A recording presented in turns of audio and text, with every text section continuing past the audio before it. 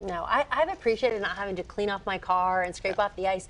But while that's good, it's not great for other areas because, you know, snowmobiles, they're synonymous with northern Michigan tourism. But these warming winters have meant taking the sled further north in the mitten. Yeah, I spoke with one business up north and another one actually down here in Metro Detroit about the personal and economic impact of that warm weather last three winters at least have been really brutal. These warmer days throughout the dead of winter that can ruin the conditions for snowmobilers. Chase and Scott are two different sides of the same snowy coin.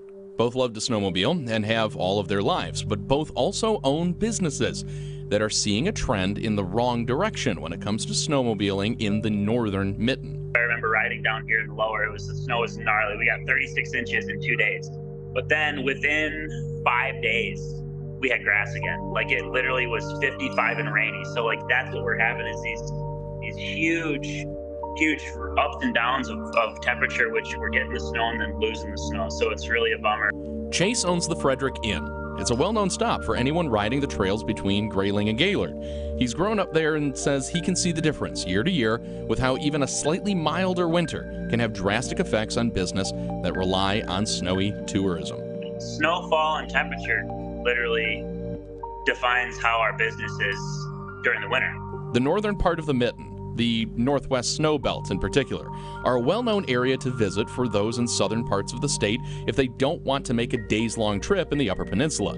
But it all depends on the snow. If not, you're going up the UP, which is what I have to do, which is like it's a bummer for us locals too. It's like I grew up my whole life riding out of the house, riding anywhere I needed. It's a lot cheaper than loading up the truck, loading up the trailer, headed another two hours from here to Paradise or Munising or even farther up to Calumet, you know, but Copper Harbor. And it isn't just a trip farther north. Scott owns Bright Power Sports in Lincoln Park. While researching for this story, I called seven different power sports dealers. For example, Rosenau and Dearborn. They actually directed me to Scott, and he was the only one still selling snowmobiles.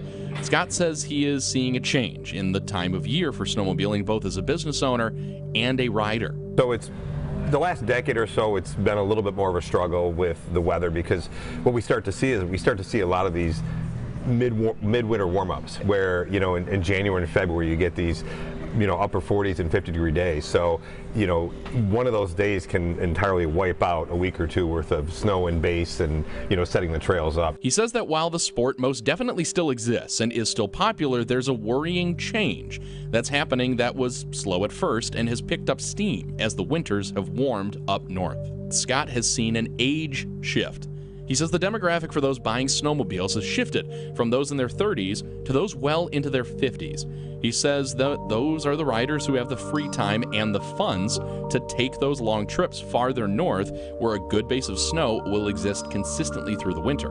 Yamaha is also seeing this change. They announced that model year 2025 will be their last in the snowmobiling business internationally. There's no doubt that the winters have have gotten warmer um, over the last several decades. Uh, not a surprise to anybody, I think, who's lived up here for any length of time. Jim Keysor is the meteorologist in charge of the National Weather Service office in Gaylord.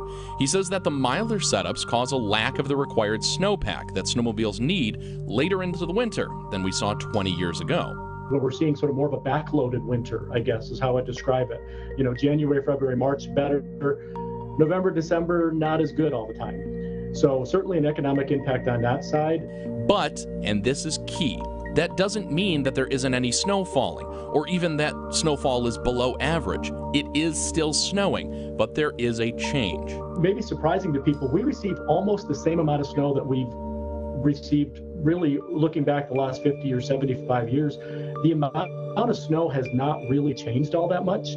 Um, it may feel like it's changed. What has changed, though, is that uh, we're melting more in between the snow events, more thaws, more rain events in between, and it feels like we're sort of on this this this seesaw. It may also be easier to melt because the physical makeup of the snow is more of that wet and heavy type of snowfall, the one that's difficult to move, but it melts faster. It can weigh everything down.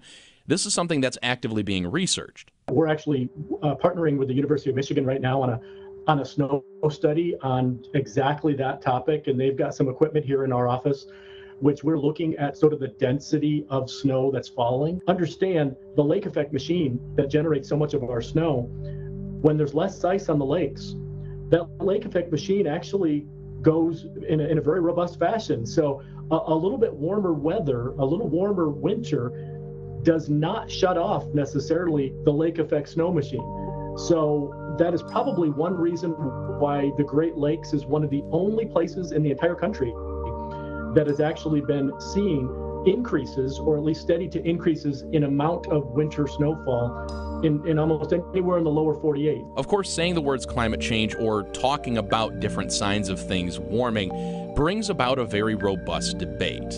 And while there is that warming trend in the winter, even with the snowfall staying at average, on that part, Jim gives a little bit of a background to try and break it down, specifically for that northern Michigan area where snowmobiling is so important.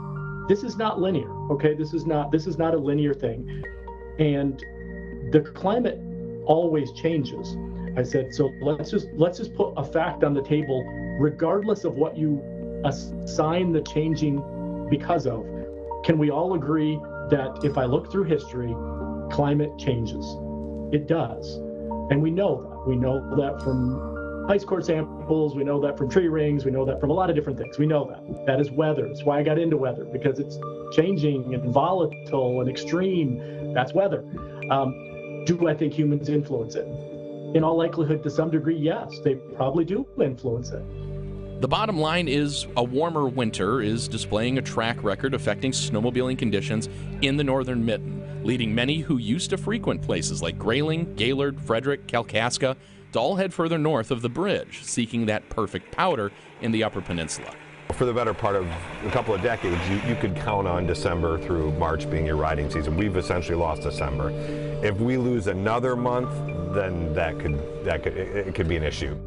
If we have great snow, we are busy. I mean, we're as busy as 4th of July weekend. If we don't, you're going to keep going up north until you find it. Ahmed Badji, CBS News, Detroit. Now, as an avid snowmobiler, I want to make sure we know while Yamaha is the first to get out of the snowmobile sales, it's important to remind everybody that they're actually the lowest provider of that. Next on the list is Arctic Cat, and both Chase and or yeah, both Chase and Scott actually believe that one only has a few years left as well.